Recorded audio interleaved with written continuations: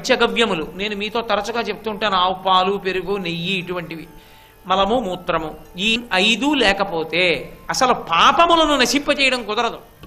ఒక పెద్ద కార్యానికి యజమానిగా కూర్చోబెట్టారనుకోండి అది మహోత్కృష్టమైన కార్యం. యజమానిగా కూర్చోబెట్టారు. ఇప్పుడు వాడు ఆ పని చేద్దామంటే వాడు చేసిన పాపాలే అడ్డొచ్చి వాడిని యజమానిగా కూర్చొనివ్వవు. ఎలా? మరి ఇప్పుడు వాడి పాపాలు పోగొట్టడం అంటే పంచగవ్య ప్రాసనం చేయిస్తారు. అగ్ని ఇంధనాన్ని ఎలా కాల్చేస్తుందో పంచగవ్యములు సమంత్రకంగా పుచ్చుకుంటే పాపనాశనం జరుగుతుంది. కాబట్టి పాపనాశనం చేయించి యజమానిగా కూర్చోపెట్టగలిగినది గోవు నుండి స్రవించేటటువంటి పంచగవ్యములు. ఇప్పుడు గోవు నుంచి వచ్చినటువంటి పదార్థములతో చేసినటువంటి కర్మానుష్ఠానము వలన దేవతలు ప్రీతి చెందుతారు.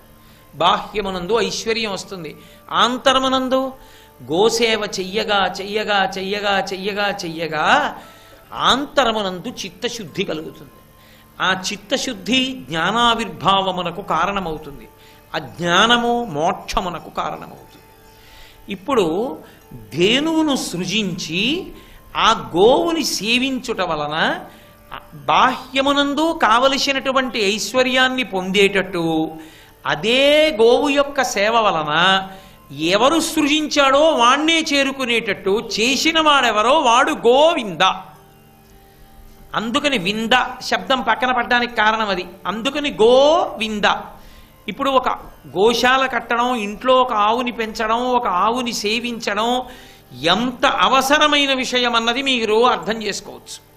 ప్రతి ఋష్యాశ్రమంలో గోశాల ఉండేది ప్రతి ఋష్యాశ్రమంలో ఆవులను అంత రక్షించేవారు ఆవు అన్న మాట కోసం అంత ప్రాణాలు కూడా విడిచిపెట్టేయడానికి రాజులు సిద్ధపడ్డారు అంటే మహాభారతంలో ఉత్తరగోగ్రహణం జరిగితే కదండి అజ్ఞాతవాసం కూడా లెక్క పెట్టకుండా పరిగెత్తారు పాండవులు.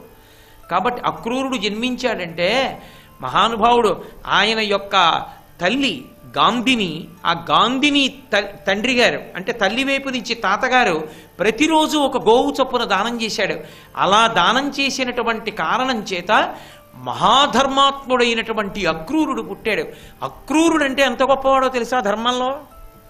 ద్వారకానగరంలో భగవానుడు కృష్ణుడు ఉన్నాడు ద్వారకానగరం నుంచి వెళ్ళిపోయిన వాడు అక్రూరుడు. కాశీపట్టణానికి వెళ్ళిపోయాడు. ఒక కారణానికి వెళ్ళిపోయాడు. ఇప్పుడు మళ్ళీ నేను విష్ణు పురాణంలో లోతుల్లోకి ఎక్కడికి వెళ్ళను? ఒక కారణానికి వెళ్ళిపోయాడు ఆయన. భగవంతుడు ఉన్నాడు భక్తుడు వెళ్ళిపోయాడు. పరమధర్మాత్ముడు వెళ్ళిపోయాడు. వర్షాలు పడ్డం మానేశాడు. ద్వారక సంక్షోభంలోకి వెళ్ళింది. వర్షాలు పట్టలేదు ద్వారకలో ఇంత బాధలు పడుతున్నాయి కాశీ పట్టణంలో అందరూ సంతోషంగా సుఖంగా ఉన్నారు. కారణం ఏమిటంటే అక్రూరుడు అక్కడ ఉన్నాడు. కృష్ణ భగవానుడు కబుడు చేశాడు చేసింది ఏదో చేశావు జరిగింది ఏదో జరిగిపోయింది పొరపాటు వచ్చేసేయి వెనక్కి అని. కృష్ణుడు పిలిచాడనగానే పరిగెత్తుకొచ్చేసాడు అక్రూరుడు. ఈ శమంతకమణి వల్ల వచ్చింది ఈ బాధ అంతా. ఎవరు ముట్టుకుంటే వాళ్ళకే వస్తోంది ఇబ్బంది. ఇక ఎవరి దగ్గర వద్దు. ధర్మాత్ముడవు కాబట్టి నీ దగ్గర ఉంటే ఇబ్బంది ఉండదు. నీ దగ్గరే ఉంచేయి అన్నాడు. ద్వారకానగరంలో కృష్ణ సన్నిధానంలో శమంతకమణితో ప్రజలకి సేవ చేస్తూ సంతోషంగా జీవనం చేసి కృష్ణ పరమాత్మ ఎద్దు తరించిపోయాడు. అటువంటి పరమధర్మాత్ముడైన అక్రూరుడు పుట్టడానికి కారణం ఏది అంటే ఆయన తల్లి అయినటువంటి గాంధినికి తండ్రి అయినటువంటి వాడు. అంటే ఆయన తాతగారు. మాతామహుడు ప్రతిరోజు ఒక గోవు చప్పున కొంతకాలం దానం చేశాడు. గోవుని అంతకాలం దానం చేసిన కారణం చేత అంతటి మహితాత్ముడైనటువంటి ధర్మాత్ముడు వాళ్ళ వంశంలో పుట్టాడు. తెల్లవారి లేస్తే నవవిధ భక్తుల దగ్గరికి వచ్చేటప్పటికి శ్రవణం కీర్తనం విష్ణోహ స్మరణం పాదసేవనం అర్చనం వందనం దాస్యం సఖ్యం ఆత్మనివేదనం అని నవవిధ భక్తులు చెప్తే నవవిధ భక్తులు అంటే తొమ్మిది రకాల భక్తులు కావు. ఇందులో ఏ మార్గమును పట్టుకున్నా పరమేశ్వరుణ్ణి చేరుతారు నవవిధ భక్తి మార్గములవి. అందులో ఒక్కొక్క దాన్ని పట్టుకొని ఒక్కొక్కళ్ళు తరించిపోయారు. శ్రవణం పరీక్షిత్ కీర్తనం శ్రీశుకుడు. స్మరణం ప్రహ్లాదుడు. పాదసేవనం లక్ష్మీదేవి. అర్చనం పృథుమహారాజు. వందనం అక్రూరుడు. దాస్యం హనుమ. సఖ్యం అర్జునుడు. ఆత్మనివేదనం బలిచక్రవర్తి. ఒక్కొక్క మార్గంలో ఒక్కొక్కరు తరించిపోయారు. భగవంతుణ్ణి చేరిపోయారు. అందులో నమస్కారమునకు అక్రూరుడు. నవవిధ భక్తి మార్గములలో. అటువంటి మహాపురుషుడు పుట్టడానికి కారణం? గోసేవ గోదానం. కాబట్టి గోసేవ గోదానము గో పూజ ఉత్తినేపోయేవి కావు. అవి సర్వకాలముల ఎందు కాపాడతాయి. అంతవరకు ఎందుకు అసలు వెంకటేశ్వర స్వామి వారి అవతార ప్రకటనమవడానికి కారణం ఆ గొల్లవాడు విసిరినటువంటి గొడ్డలి గోవు రూపంలో ఉన్నటువంటి బ్రహ్మగారి మీదకి వెళ్ళి పడుతున్నప్పుడు కదూ గోవు తన కళ్ళ ముందు చెనకపడకూడదని వాల్మీకంలో ఉన్నవాడు తటాలను పైకొస్తే ఆ గొడ్డలు వచ్చి ఆయన తలకి తగిలితే సప్తతాళ ప్రమాణైన రక్తస్ఫూర్తి రభుస్తదా ఏడు తాటి చెట్లంత రక్తం పెరిగింది. అంటే ఆ అంత రక్తం తనది పైకొచ్చినా సరే ఒక గోవుని రక్షించడాటేశ్వరావతారం పైకొచ్చి. కాబట్టి గోవింద ఆవుని కాపాడితే ఆవుని సేవిస్తే బాహ్యమునందు ఐశ్వర్యము ఆంతరమునందు ఆ గోసేవా ఫలిత రూపముగా చిత్తశుద్ధి దాని వలన మోక్షము. జ్ఞానాన్ని పొంది. ఇవి ఇవ్వగలిగినటువంటి వాడెవరో వాడు గోవిందుడు. కాబట్టి గోవిందా గోవిందా గోవిందా అని అనుకోవడం వల్ల ఏమొస్తుంది? అంటే ఏదో ఇవేవి మనకి అతీతంగా ఎక్కడో ఉన్నటువంటివి కావు. కామధేను వస్తుంది కల్పవృక్షం వస్తుంది అని చెప్పక్కర్లేదు. మన కళ్ళ ముందు తిరుగాడుతున్నవి. భూమి మీద నిలబడకుండా ఎవడుంటాడు? ఆ భూమి పట్ల పవిత్ర భావన పెరగడమే పరమేశ్వరుణ్ణి చేరిపోవడానికి మార్గమైపోతుంది. ఇది ఇవ్వగలిగినటువంటి నామము గోవిందనామము. ఎందుకని? ఎవరు పేరు పెట్టి పిలుస్తున్నామో వాడికి ఇది ఇచ్చే లక్షణం ఉంది అని శాస్త్రం చెప్తోంది కాబట్టి. అందుకని గోవిందా అందుకే వెంకటాచల క్షేత్రంలో తెలిసి ఎక్కనివ్వండి తెలియక ఎక్కనివ్వండి గోవిందనామంతో ఆ నామం చెప్తూనే కొండెక్కుతూ ఉంటారు. కారణం గోవింద అన్నప్పుడు గో అంటే ఇంద్రియములు. వింద అంటే వాటి ద్వారా ఆయన్ని చేరవచ్చు. లేదా అవి ఆయనవై ఉన్నవి వాటి పట్ల జాగరూకత రక్షణ భావము ఈశ్వరుణ్ణి చేరడానికి కారణము. మీరు ఒక చమత్కారమైన విషయం చూడండి. మనం ఏడు కొండలు ఎక్కడం అని ఒక ప్రక్రియ. ఇవాళ ఏడు కొండల మీదకి వెళ్ళడానికి ఎన్నో వాహనాలు వచ్చాయి. అయినా ప్రయత్నపూర్వకంగా ఏడు కొండలు నడిచే ఎక్కుతుంటారు. నేను ఒకనకొకప్పుడు ఏడుకొండలు ఎక్కుతుంటే పరమవృద్ధుడు నడువంగిపోయిన వ్యక్తి ఒక ఆయన కనపడ్డాడు ఆయనతో దాటి వెళ్ళిపోతూ ఆయన దగ్గర ఆగి నేను చమత్కారంగా అన్నాను ఇంత వయసు వచ్చేసింది కదా స్వామి మీరు ఇప్పుడు కూడా కొండెక్కాలా? ఏ బస్సులోనో వెళ్ళొచ్చు కదా ఎందుకండి ఇంత కష్టపడి ఎక్కుతున్నారన్నాను. ఆయన నా వంక తిరిగి ఇలా చూసి అన్నాడు నేను ఎనిమిదో ఏట నుంచి కొండెక్కుతున్నా నాకు ఎనభై ఐదేళ్ళు నేను ఎక్కినట్టు నువ్వు ఎక్కగలవా? నేను తెల్లబోయా.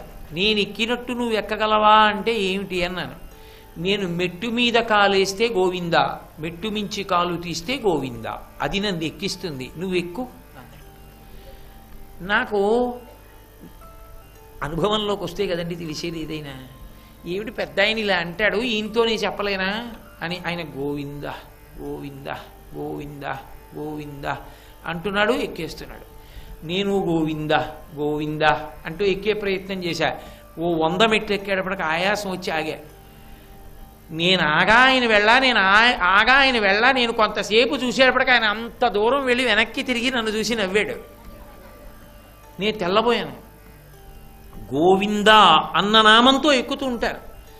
ఇంకొక నామం చెప్పరు. ఏడుకొండలవాడ వెంకటరమణ గోవింద గోవింద.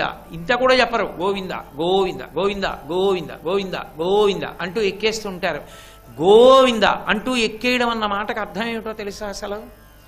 అసలు గోవింద అన్న నామంతో ఎందుకు ఎక్కుతారంటే కొండ అదే ఈశ్వరుడి దగ్గరికి చేర్చేస్తుంది ఆ నామం. ఎలా? అంటారేమో గో అంటే ఇంద్రియములు. ఇంద్రియములకు సాధారణంగా ఉండే లక్షణం ఏమిటంటే పతనం చేస్తాయి. అవి ఎప్పుడూ కూడా భోగకారకములైనటువంటి వాటిని మాత్రమే అడుగుతాయి తప్ప భోగకారకములు కానటువంటి వాటి జోలికి ప్రయత్నపూర్వకముగా అవి వెళ్ళనే వెళ్ళవు. అటువంటి ఇంద్రియములకు ఒక లక్షణం ఉంటుంది. అవి ఎంత చెడ్డవి అని మీరు అన్- కన్ను ఇంద్రియాలంటే ఏవో కాదండి. కళ్ళు చెవులు ముక్కు నాలుక చర్మము కర్మేంద్రియాలు ఐదు కాళ్ళు చేతులు లాంటివి. ఇప్పుడు ఇందులో ప్రధానంగా జ్ఞానేంద్రియాలు ఎప్పుడైనా ప్రయత్నపూర్వకంగా ఏదో భగవత్ స్వరూపాన్ని కోరుదాం లేకపోతే రామాయణం చదువుకుందాం లేకపోతే ప్రసాదం తిందాం అలా అంటా ఏంటి? ఎప్పుడు భోగాలే కోరుతాయి. భోగాలే కోరుతాయని చెప్పబడేటటువంటి ఇంద్రియములు కూడా ఒకనకొక సమయంలో విశేషమైన ఉపకారం చేస్తాయి. అందుకే ఇంద్రియాణి ప్రమాణ్యాహు అంటాడు భగవద్గీతలో కృష్ణ భగవానుడు. ఇంద్రియములు కూడా ఆహుహు పెద్దలు చెప్పిన మాట నేను చెప్పట్లేదన్నాడు. శాస్త్రం తెలుసున్న వాళ్ళు చెప్పిన మాట ఇంద్రియములు కూడా బలవత్తరములే మనిషిని గట్టెక్కించడంలో ఎలా?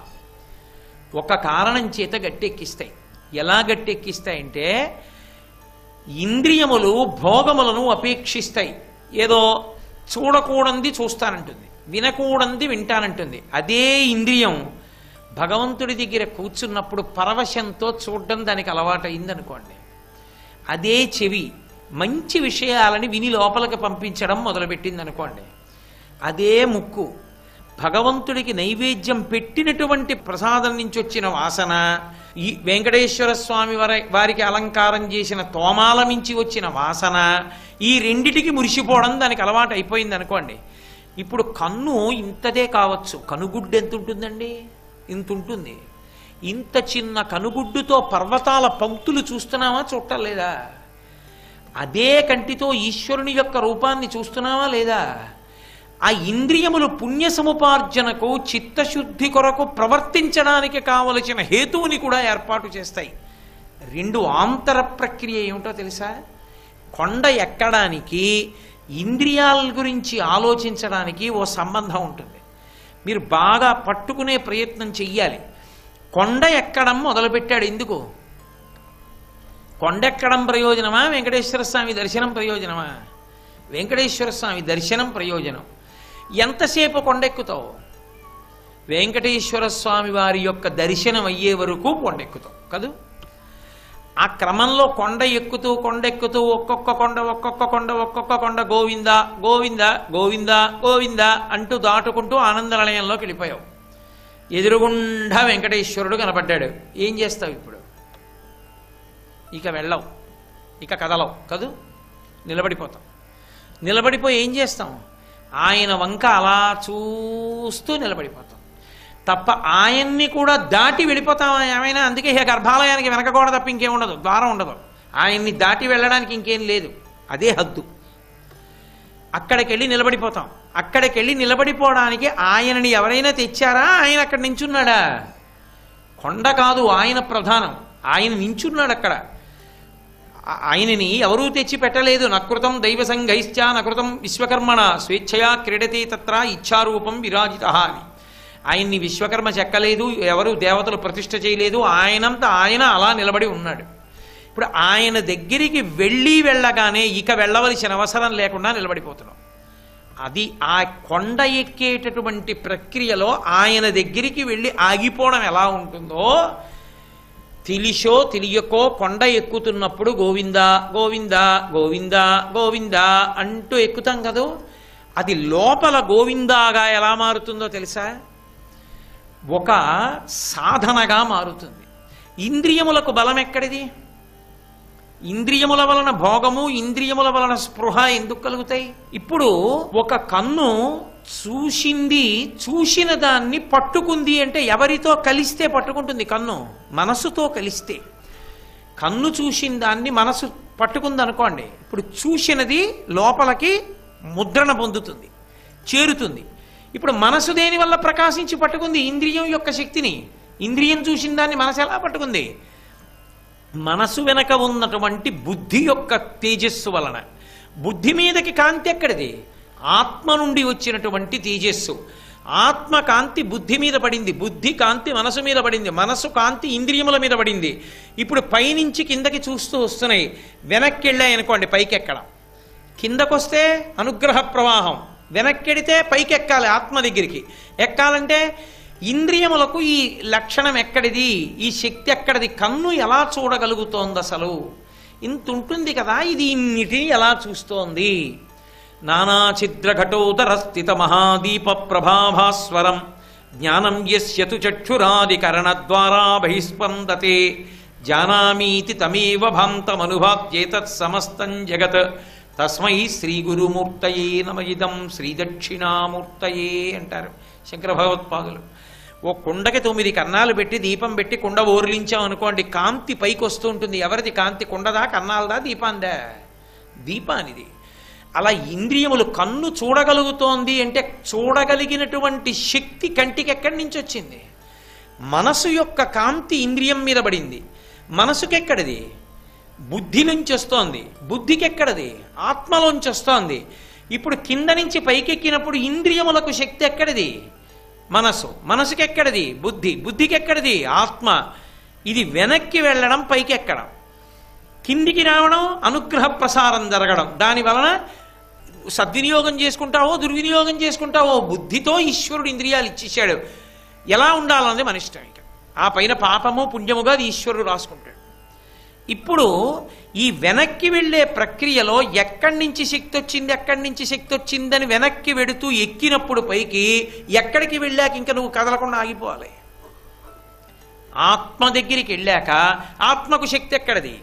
అని అడుగుతామా అడగం. ఏమంటే ఆ కిటికీలోంచి వెలుతురు వస్తోంది ఎలా వస్తోంది అంటారు ఉండండి ఒకసారి. అని అక్కడికి వెళ్ళి చూసి ఆ కిటికీలోంచి వెలుతురు ఎందుకు వస్తుంటేనంటే ఆ పై నుంచి ఏదో ఆ పక్కన పెద్ద కాంతి వస్తోందండి అన్నాడు. కనపడుతోంది ఆ ఏమో పైకి కనపడటం లేదు మరి కిటికీలోంచి. అంటే బయటికి వెళ్ళి చూడండి. అంటే తలుపు తీసి బయటికి వెళ్ళి చూశాడు. చూస్తే ఆ పక్క మేడ మీద ఎక్కినటువంటి వ్యక్తి ఒక పెద్ద దీపాన్నో దాన్ని పట్టుకుని నించున్నాడు. ఆ దీపపు కాంతి కిందకొచ్చి కిటికీలోంచి గదిలోకి వచ్చింది ఇప్పుడు ఎక్కడతో ఆగిపోతావు? నీ అన్వేషణ. గదిలోకి కాంతి ఎక్కడి నుంచి వచ్చింది? పక్క మేడ మీద ఉన్నటువంటి వ్యక్తి పట్టుకున్న పెద్ద దీపంలోంచి వస్తోంది. అయిపోయింది దీపానికి కాంతి ఎక్కడిదని అడుగుతావా? దీపము అంటే కాంతి కాంతి అంటే దీపము. అవి రెండు పరస్పరం ఒకదాన్ని ఒకటి ఆశ్రయించి ఉంటాయి అలా ఎక్కడి వరకు వెళ్ళి ఆగిపోతాం? ఆత్మ వరకు వెళ్ళి ఆగిపోతాం. గోవింద గోవింద గోవింద గోవింద అంటూ కొండలు ఎక్కడం అంటే ఏమిటి దాని అర్థం? ఇన్ గో అంటే ఇంద్రియములు. ఇంద్రియములకు పరిపాలకుడు ఆయన. ఇప్పుడు ఆయన ఇచ్చిన ఇంద్రియములు కాబట్టి ఆయన ఎందుకు చెప్పారో అందుకు వాడుకోవాలి. ధర్మం. సర్వం శ్రీ ఉమామహేశ్వర పరబ్రహ్మార్పణమస్తు. స్వస్తి.